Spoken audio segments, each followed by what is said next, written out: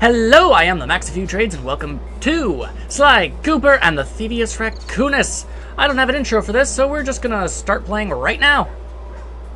Begin! Sly! Come in! Sly! Do you read me? Yeah, I read you. Loud and very loud. Sorry, I'm a little nervous. Trying to break into police headquarters does that. Get over it, Bentley. You're safe in the van. I'm the thief here. I've got to steal that file from Inspector Carmelita Fox. Well, count on me to be your eyes and ears, buddy. Got their security system totally scoped. To get inside, you're gonna have to go through that air vent. All right, I'm going in. And don't forget you got me at the wheel, Sly. All you gotta do is grab the file and get back to the van. We'll do the rest. Just keep that engine running, Murray. I'll be down in no time. Nice of them to state the names of all the characters in that small bit of dialogue there.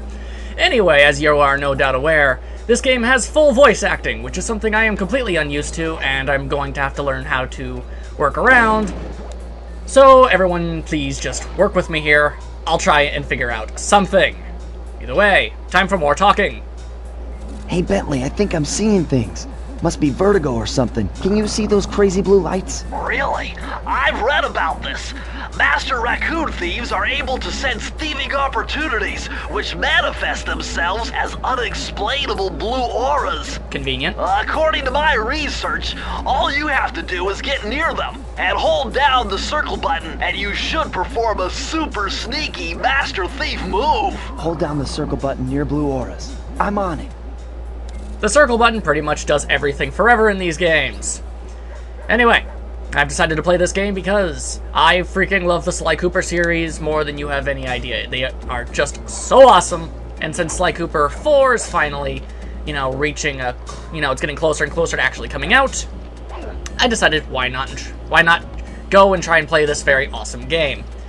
As you can see, I am Sly Cooper. I am a master thief. I am undetectable by anyone any it, it is nearly impossible to ever know that Sly Cooper has ever been around. Sly, break one of those laser beams and you'll set up. Except for right now, because I fell and I smashed the alarm. See? Master Thief. No one will ever know I was here. Nice job, you're in. Inspector Carmelita Fox's office is behind the red door. It's vitally important we say her entire name each time we mention her. It's been a long time since I've been uh, recording, so I gotta get back into the groove of things. You're going to have to forgive me. Door must be super reinforced, Sly. Maybe there's a way to get around it. Well, I see a conveniently opened window, so let us take advantage of that. And very stealthily break things as we sneak around, and then break all of her stuff. Because this is what Master Thieves do. Break everything! And grab all the money. And a big giant safe. Way to go, Sly. This is where Inspector Carmelita Fox stashes all her important files. Well, duh. I hacked into the police security mainframe and discovered this vault's combo. Try dialing in 937. Can do, Mr. Turtle. And just like that, we have opened this vault and grabbed a thing. We do not know what this thing is, but we will soon enough. Nice job! You got it! If you come down through the fire escape and head through the parking lot, we'll be waiting in the getaway van. Alright then. I'll just leave this obvious clue as to who was here. Gotta make gotta make sure everyone knows I was here. So, you know, other than setting off that alarm and smashing everything in this uh, police officer's built uh, office room, I believe we uh, we stealthily got through this.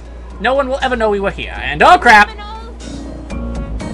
You foolish raccoon. I've caught you red-handed. Ah, Carmelita.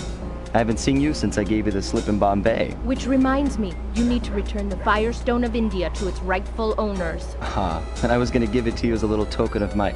Hey, you know, that bazooka really brings out the color of your eyes. Very fetching. You think? This pistol packs a paralyzing punch. You ought to try it. Might snap you out of your crime spree. And give up our little rendezvous? Plenty of time for that once you're safely behind bars. Love to stick around and chat, but I just dropped by to pick up this case file. I think you've had it long enough. Okay, time to get out of here. Okay, This, this, this does not seem like something a police officer should be doing. Granted, I, I am not in law enforcement, but I don't think it's a very good idea to smash as much thi- as, as much public property as you possibly can in the pursuit of a criminal. But then again, what do I know? And now you're just breaking police cars. I certainly hope your boss knows what you're doing. Because this is most uncouth, I must say. Well, either way, we're out of here. Later, lady. You can't escape me, raccoon! Well, I just did, so ha! Shake your fist at me? Once again, my gang and I had given Inspector Carmelita Fox the slip. I was surprised to see how well she took it. Finally, the secret police file I'd been searching for all these years. With this, I could avenge my family and regain possession of our most valued treasure. It all began when I was just a kid, bouncing on my father's knee. You see, I come from a long line of master thieves who kept all their secrets of sneaking and stealing in an ancient book. The Thievius Raccoonus. Anyone who read it learned to be especially sneaky, which is why we specialize in stealing from criminals.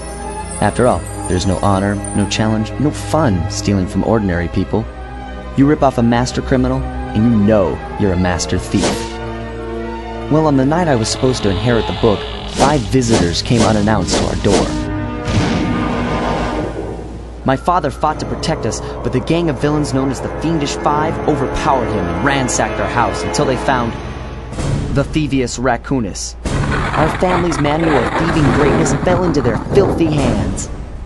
They tore the book into five pieces and split it up, each villain disappearing to the farthest corners of the world to commit dastardly crimes. Broken alone, I was dumped at the town orphanage. There I met two guys who became my lifelong buddies and trusted crew. Bentley, techno genius and strategist supreme, and Murray, part-time driver and full-time burden. Together we pledged to track down the Fiendish Five, avenge my father, and steal back the Thievius Raccoonus. I knew I was about to face the toughest test of my life. On this mission, I would either become a master thief like my ancestors before me, or fail and allow my family name to bite the dust.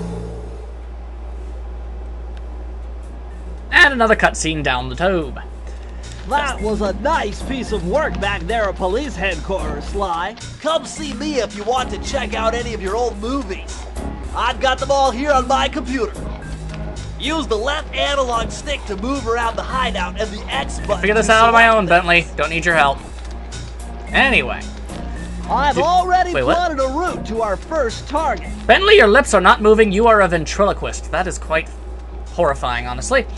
Okay, so I believe I'm going to end this episode here. It was short and mostly cutscenes, and I apologize for that, but this is a completely new experience for me. I'm trying to figure out what works here, what doesn't. But I'm confident this will actually end up being a pretty good LP. And in the next part, we will set off into this particular location to begin the game proper. Oh, And hello? want one? Aha! It's funny because he is a fat hippo, of course. Anyway, I have been the Max a Few Trades. I hope you enjoyed this, as short and as awkward as it was, and I'll see you next time.